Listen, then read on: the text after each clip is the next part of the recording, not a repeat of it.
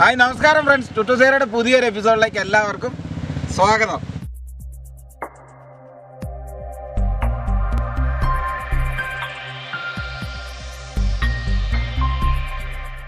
അപ്പോൾ നമ്മൾ ഇന്ന് ചെയ്യാൻ പോകുന്നത് നമ്മുടെ ഇടുക്കി ജില്ലയുടെ ഏറ്റവും അഭിമാനമായ നമ്മുടെ ഈ കഴിഞ്ഞ ദിവസങ്ങളിലെല്ലാം സോഷ്യൽ മീഡിയ വഴി ഏറ്റവും കൂടുതൽ വൈറലായ നമ്മുടെ ഇടുക്കിയുടെ ലെംബോർഗിനി ഉണ്ടാക്കിയ നമ്മുടെ അനസിന്റെ വീട്ടിലാണ് നമ്മളിന്ന് പോകാൻ പോകുന്നത്.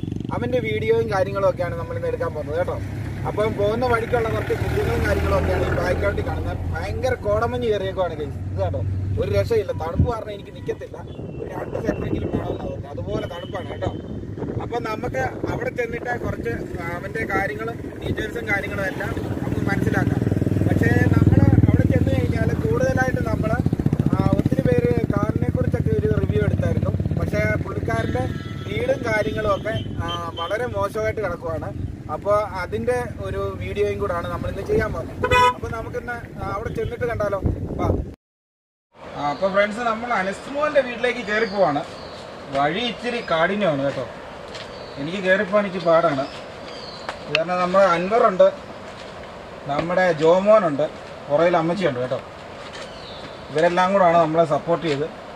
ഇതിലെ കയറ്റിക്കൊണ്ട് പോകാം എന്നായാലും മനസ്സിൽ വലിയൊരു ആഗ്രഹമായിരുന്നു. നമ്മുടെ അനസിനെ ഒന്ന് കാണണം. ഇത്രയും നല്ലൊരു കലാകാരനെ നമുക്കൊന്ന് പരിചയപ്പെടാതിരിക്കാൻ ഏതായാലും പറ്റിയായിരുന്നു അത് കാരണം നമ്മുടെ കർഷകകളൊന്നും ഒരു കാര്യമല്ല. പിന്നെ ഇവിടെ എല്ലാം വേണ്ട ഏലമൊക്കെ വെച്ചിട്ടുണ്ട് കേട്ടോ. സൈഡിലെല്ലാം ഏലമുണ്ട് ഏല കൃഷിയും കാര്യങ്ങളൊക്കെ ഉണ്ട്. ഒത്തിരി പോകണം ഇവിടെ? ഇച്ചിരി ഒത്തിരി ഒത്തിരി പോകണം? ആണല്ലേ? പതിയെ നമുക്ക് അങ്ങോട്ട് പോവാം ഊരി വെക്കാൻ പറ്റും. ഊരി വയ്ക്കാൻ പറ്റും. ആ. പിന്നെ ഗിയർ വരുന്നത് പെഡൽ ഷിഫ്റ്റിംഗാണ് വരുന്നത് കയ്യിലെ ഗിയർ വരുന്നത്. പിന്നെ നമ്മുടെ സെൽഫ് സ്റ്റാർട്ടും കാര്യങ്ങളൊക്കെ ഇവിടെ.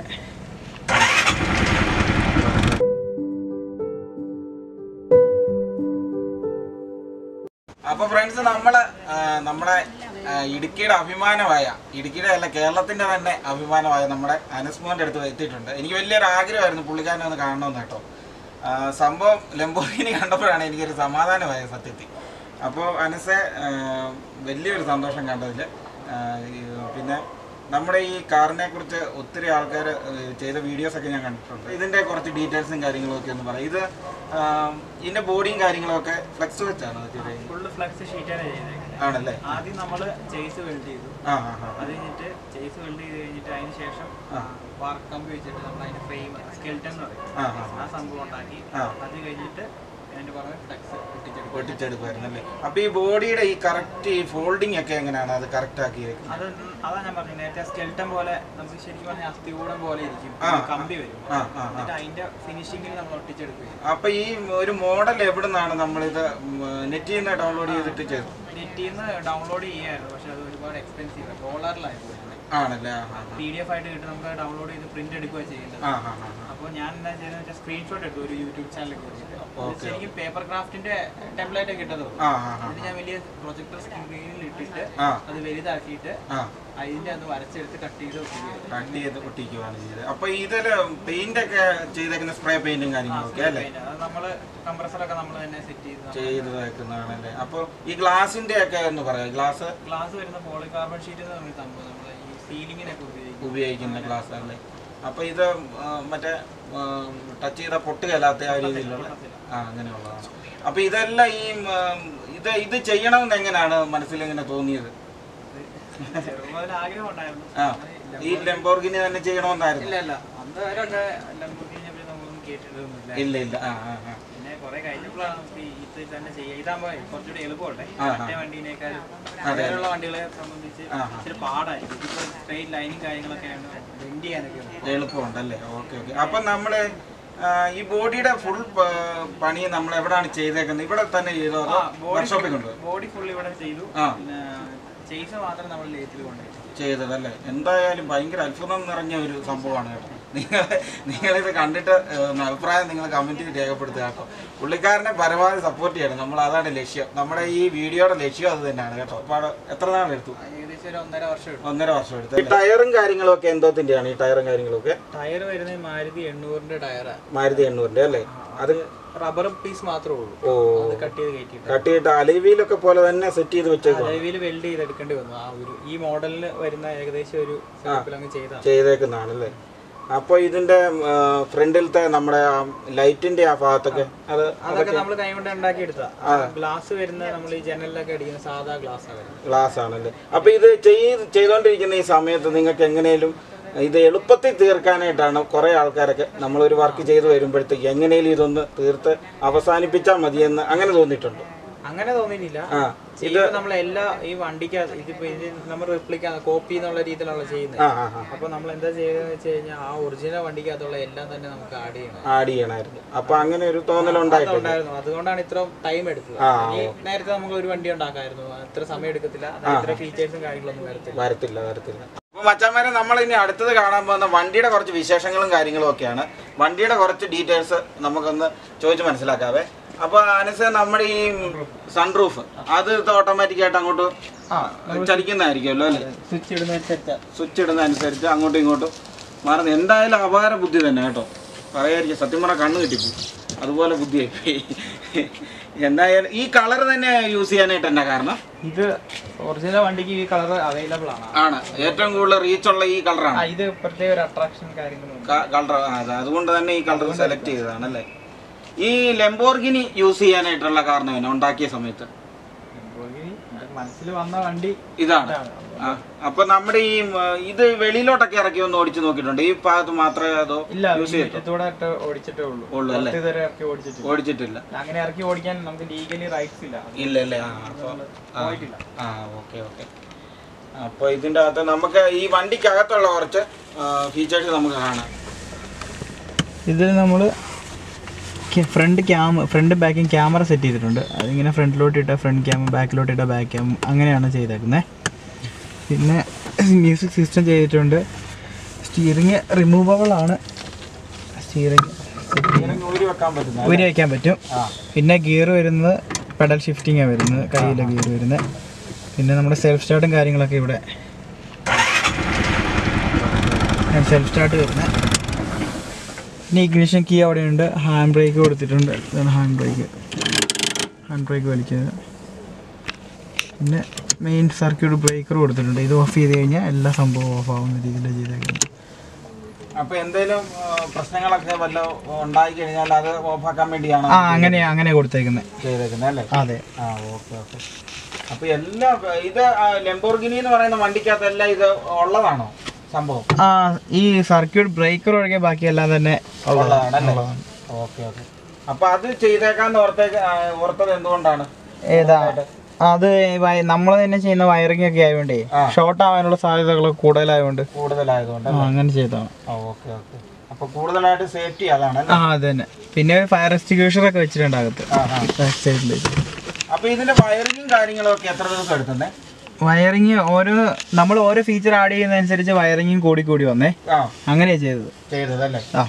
ഇത് നമ്മുടെ ബാറ്ററി ലെവൽ ഇൻഡിക്കേറ്റേഴ്സ് കൊടുത്തേക്കുന്നതാണ്. അപ്പോൾ ഫുൾ ചാർജ് ആണ് ബാറ്ററി അതുകൊണ്ടാണ് കാണിക്കുന്നത്. ഇതൊക്കെ നമ്മൾ ഈ ടാബ്ലറ്റ് ഇല്ലേ? പാരസെറ്റമോളിന്റെ ഗുളികയുടെ കവർ വെച്ചിട്ടാണ് ഈ ലൈറ്റും കാര്യങ്ങളെല്ലാം സെറ്റ് ചെയ്തേക്കുന്നത് അത് എങ്ങനെയോ മൈൻഡിലേക്ക് വന്നതാ. സത്യം പറഞ്ഞാൽ ഇതൊക്കെ ഒരു നമുക്ക് ഇടുക്കിക്ക് കിട്ടിയേക്കുന്ന ഒരു ഭാഗ്യമാണ് കേട്ടോ. നമ്മൾ ഉപയോഗിക്കുന്ന ബട്ടർഫ്ലൈ ഡോർസ് ആണ്. ഇതിങ്ങനെ തുറക്കുന്ന രീതിയിൽ ഇതിൽ ലോക്കും കൊടുത്തേക്കും. ഇവിടെ ഇവിടെയാണ് എഞ്ചിൻ വരുന്നത്. ഈ കാണുന്ന ഒരു എഞ്ചിൻ തണുപ്പിക്കാൻ വേണ്ടി ഒരു റേഡിയേറ്റർ ഫാൻ കൊടുത്തേക്കുന്നതാണ്. പിന്നെ രണ്ട് ബാറ്ററി വരുന്നുണ്ട്. ഈ ബാറ്ററിയിൽ സെൽഫിന് വേണ്ടി മാത്രം ഈ ബാറ്ററി ബാക്കിയുള്ള ക്യാമറ അതുപോലുള്ള ഇലക്ട്രിക് സാധനങ്ങളെല്ലാം വർക്ക് ചെയ്യാൻ വേണ്ടി ഇത് വേറെ ഒരു മാരുതി എണ്ണൂറിന്റെ ബാറ്ററി കൂടെ കൊടുത്തിട്ടുണ്ട്. പിന്നെ വരുന്നത് പെട്രോൾ ഫ്യൂവലാണ് ഫ്യൂവൽ വരുന്നത് നമ്മളൊരു പഴയ ഒരു കന്നാസ് വെച്ചിട്ട് അഞ്ച് ലിറ്റർ കപ്പാസിറ്റി വരുന്ന ഒരു കന്നാസ് വെച്ചിട്ടാണ് ഇത് ചെയ്തേക്കുന്നത് അപ്പോൾ ഇതിൽ പമ്പ് ചെയ്ത് എഞ്ചിന്റെ അകത്തേക്ക് ചെല്ലും. പെട്രോൾ അങ്ങനെയാണ് ചെയ്തേക്കുന്നത് എങ്ങനെ തോന്നിയതാണ്? അത് ശരിക്കും ബൈക്കിന്റെ എഞ്ചിൻ എന്ന് പറയുമ്പോൾ ബൈക്കിന്റെ എഞ്ചിനേക്ക് എഞ്ചിലേക്ക് മേളിൽ നിന്നല്ലേ പമ്പ് പെട്രോൾ ഇറങ്ങി വരുന്നത് അപ്പൊ നമുക്ക് ഇതിന് മേളിലൊരു ടാങ്ക് സെറ്റ് ചെയ്യാൻ ബുദ്ധിമുട്ടുള്ളതുകൊണ്ട് നമ്മൾ എന്ത് എന്ത് ടൈപ്പ് ടാങ്ക് അവിടെ വെച്ചേക്കുന്നത് പഴയ ഒരു കന്നാസ് ഉപയോഗിച്ചേ എന്റെ പൊന്നെ സമ്മതിക്കണം. ഇതൊക്കെ എങ്ങനെ തോന്നിയെന്നുള്ളതാണ് എനിക്ക് സത്യം പറഞ്ഞു കഴിഞ്ഞാൽ ഇതൊക്കെ എന്നാ പറയണമെന്ന് പോലും അറിയത്തില്ല. ഇതിനെ കുറിച്ച് ഡീറ്റെയിൽ ആയിട്ട് പഠിച്ചതാണെന്ന് എനിക്ക് മനസ്സിലായി. എന്നിട്ടാണ് ഇത് തൊട്ടതല്ലേ? അതെ ഇതിനെ പറ്റി കുറെ പഠിക്കേണ്ടതായിട്ട് വന്നു. ആ പഠിച്ചതിന് ശേഷമാണ്. അപ്പൊ എല്ലാരും എളുപ്പ ചാടിക്കേറി ചെയ്യുന്നതിന് ബ്രോയ്ക്ക് ഇങ്ങനെ വല്ല ആൾക്കാരും ചെയ്യുന്നുണ്ടെങ്കിൽ അപ്പൊ അവരോട് എന്തെങ്കിലും കാര്യങ്ങളൊക്കെ പറഞ്ഞു കൊടുക്കാനായിട്ടൊക്കെ ഉണ്ട്? ആ നന്നായിട്ട് ഒരു നന്നായിട്ടൊന്ന് പ്ലാൻ ചെയ്യാൻ പറ്റുവാണെങ്കിൽ നമ്മൾ പകുതി സക്സസ് ആണ്. ആണ് ആ അങ്ങനെയാണല്ലേ അപ്പം ചാടിക്കേറി ചെയ്യും ചെയ്യാതെ നന്നായിട്ട് ഇതിനെക്കുറിച്ച് പഠിച്ചതിന് ശേഷം ചെയ്യുക കേട്ടോ? അപ്പോൾ ഇതിന്റെ ബാക്ക് വരുന്ന ഡിസ്ക് ബ്രേക്ക് ആണ്. പൾസർ പൾസറിൽ വരുന്ന ഡിസ്ക് ബ്രേക്ക് ഡിസ്ക്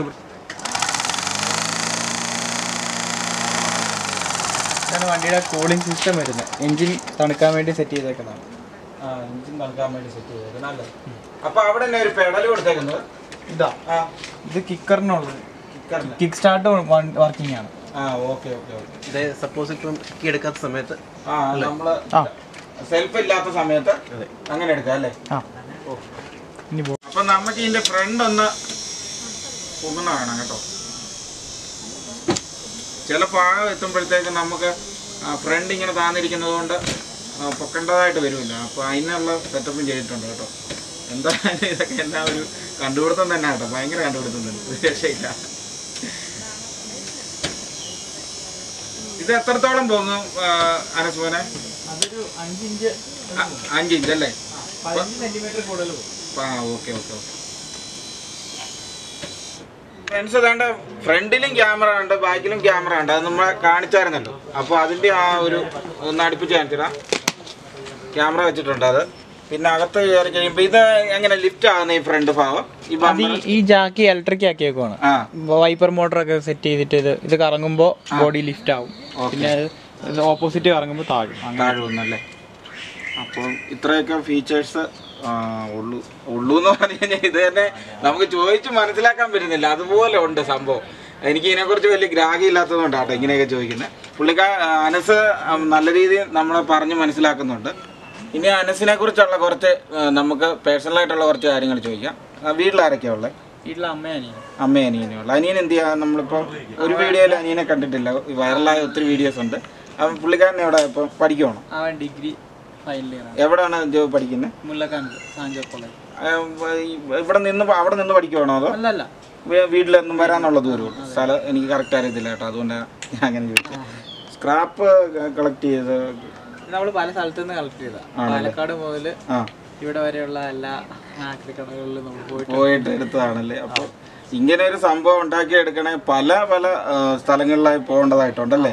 എല്ലാം നമുക്ക് ഒരു ഷോപ്പിൽ നിന്ന് നമുക്ക് കിട്ടുകയല്ല ഓരോ സാധനം നമ്മളിപ്പോ ആ ഹെഡ് ലൈറ്റിൽ വെച്ച പ്രൊജക്ടർ ലൈറ്റ് പാലക്കാടാണ് കിട്ടിയത്. അയ്യോ.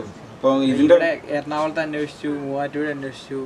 ഇവിടെ അടുത്ത തൃശ്ശൂരൊക്കെ പോയി അന്വേഷിച്ചു പക്ഷെ എങ്ങും കിട്ടിയില്ല. കിട്ടിയില്ല പാലക്കാട് മാത്രം ഓക്കെ. അത്രയും കഷ്ടപ്പാട്. ഇതിന്റെ പിന്നെ ഭയങ്കര കഷ്ടപ്പാടുണ്ട് കേട്ടോ.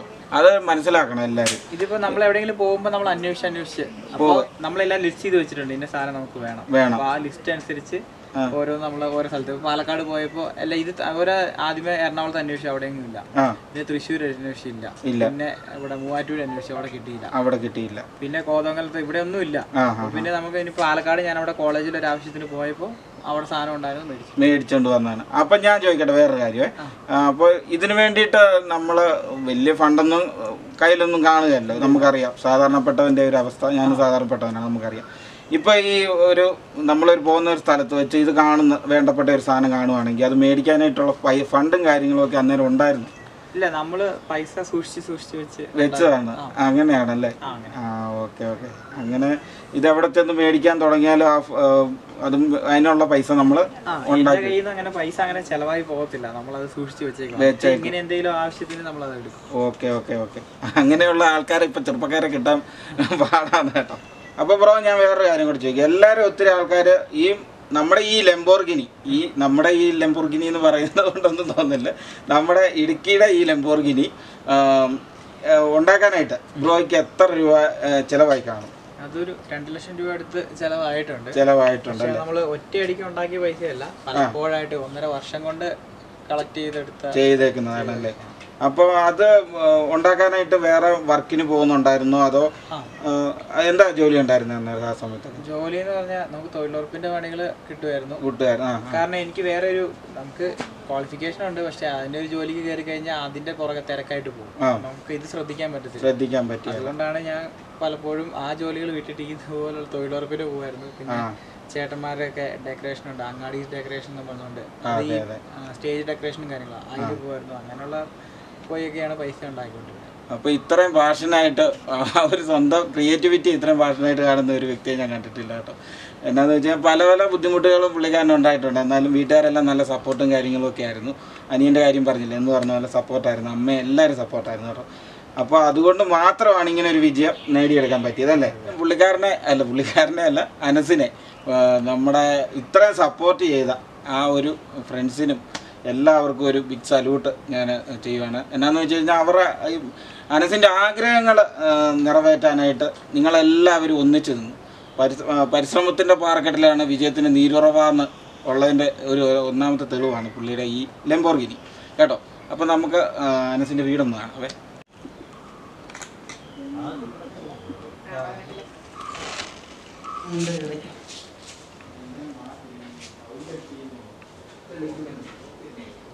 അങ്ങനെ താഴേക്ക് തറയിരുന്നപ്പം പിന്നെ ഭിത്തിക്ക് വെള്ളിലെ സംഭവിച്ചു? ആ. ആ ഭിത്തി അന്നേരം താങ്ങൂലോ? ഇത് നമ്മൾ അനസ്മാന്റെ അമ്മയൊന്ന് പരിചയപ്പെടാം. ആ, ഇതാണ് അമ്മ. അമ്മ എന്താ ജോലിയൊക്കെ ചെയ്യുന്ന അമ്മ? ഇവിടെ വീട്ടിലെ പണികൾ. നേരത്തെ ഞാൻ കായെടുക്കാനൊക്കെ പോവായിരുന്നു. പോവായിരുന്നു. അപ്പൊ പപ്പ മരിച്ചു കഴിഞ്ഞാൽ പിന്നെ വേറെ പോകാറില്ല. പോകാറില്ല അല്ലേ? പോകാറില്ല എന്ന് പറഞ്ഞാൽ പെട്ടെന്ന് ഒരു ഷോക്ക് ഉണ്ടായി. എനിക്ക് പണിയാൻ പറ്റാതെ വന്നു. കാരണം ശരീരം മുതൽ നിർക്കിട്ട് കയറി. കേറി അല്ലേ? പിന്നെ പണിയാൻ പോകാതെ വന്നു. പറ്റാതെ വന്നതുകൊണ്ട് വേറെ പോകാതെയായി.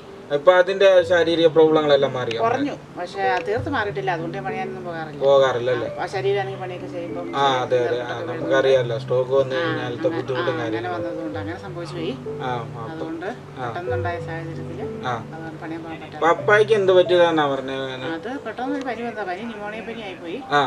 അത് വെച്ച് വലിയ ഒരു കുഴപ്പമില്ലാതിരുന്ന. പിന്നെ പന്നാലും കൂലൊക്കെ കുറച്ച് വെച്ച് പറഞ്ഞിട്ട് പനിയാന്ന് പറഞ്ഞു പോയതാ. പോയച്ച് പോയച്ച് തിരിച്ചു വരുമ്പോൾ വെറുതെ നടന്നു പോയ മനുഷ്യൻ തിരിച്ചു വരുന്നത് കിട്ടിക്കാത്ത. അതാ പെട്ടെന്നൊരു ഇത് വരാൻ കാരണമായി നമുക്ക് നമുക്കത് ചിന്തിക്കാൻ പറ്റത്തില്ലല്ലോ. അതെ അതെ. ആ ഒരു സാഹചര്യം. ആ. പത്തൊമ്പത് ദിവസം വെന്റിലേറ്ററിൽ കിടന്നു. ആ. ദിവസം രാജഗിരിയിൽ. രാജഗിരി വന്നു കഴിഞ്ഞപ്പോ പറഞ്ഞു കഴിഞ്ഞ ഒരാളെ തിരിച്ചുതരാൻ പറ്റത്തില്ല എന്ന് പറഞ്ഞു ഇതെല്ലാം കണ്ടും കേട്ട് നിൽക്കുമ്പോൾ നമുക്ക് ആകെപ്പാട് ഒരു പ്രാളവും ഒരു ഇതും പതിനായിരം രൂപകളുടെ ആശുപത്രി പോയാൽ ഞാൻ തിരിച്ചു വന്നത് പത്ത് ലക്ഷം രൂപ ഓരോ ആൾക്കാരുടെ സാഹചര്യങ്ങളാണ് മനസ്സിലായത് നിങ്ങൾ ഞാൻ പറഞ്ഞ ഇതിന്റെ അകത്തെ വണ്ടിയുടെ കാര്യങ്ങൾ എല്ലാം നമ്മൾ ചെയ്യുന്നുണ്ട്. എന്നെങ്കിൽ പോലും പരമാവധി നിങ്ങൾ ഇത് ഇപ്പോൾ വീടും കാര്യങ്ങളും എല്ലാം ഞാൻ കാണിച്ചിട്ടുണ്ട്. എന്നാന്ന് വെച്ച് കഴിഞ്ഞാൽ നിങ്ങൾക്ക് പരമാവധി ചെയ്യാൻ പറ്റുന്ന എന്ത് കാര്യങ്ങളും നമ്മുടെ ഒത്തിരി ആൾക്കാർ സബ്സ്ക്രൈബേഴ്സൊക്കെ കാണുന്നുണ്ട്. എന്നെങ്കിൽ എന്തെങ്കിലും നിങ്ങൾക്ക് ചെയ്യാൻ പറ്റുന്ന എന്തെങ്കിലും സഹായങ്ങളോ നിങ്ങളെ കൊണ്ട് പറ്റുന്ന. ഇപ്പം പുള്ളിക്കാരനാണെങ്കിലും നല്ല വിദ്യാഭ്യാസം കാര്യങ്ങളൊക്കെ ഉള്ളതാണ്. ഒരു ജോലിയോ കാര്യങ്ങളോ ഒക്കെ ഒരു അനിയനും ഉണ്ട് അമ്മയുണ്ട്. അപ്പോൾ ഇത്രയും കഴിവുള്ള ഒരു ഒരു സ്ഥലത്ത് ഇടുക്കി ജില്ലയിൽ ഒരു കഴിവുള്ള ഒരു ഒരാളെ ഞാൻ കണ്ടിട്ടില്ല. അപ്പം ഇത്രയും പ്രോത്സാഹനമൊക്കെ ഉള്ള നമ്മൾ എന്നായാലും ഇത്രയും നല്ല പ്രോത്സാഹനവും കാര്യങ്ങളൊക്കെ നമ്മൾ കൊടുക്കണം. അപ്പോൾ നിങ്ങൾക്ക് ചെയ്യാൻ പറ്റുന്ന കാര്യങ്ങളല്ല ചെയ്യണമെന്നാണ് എന്റെ ഒരു അപേക്ഷയായിട്ട് കൂട്ടിയാൽ മതി കേട്ടോ.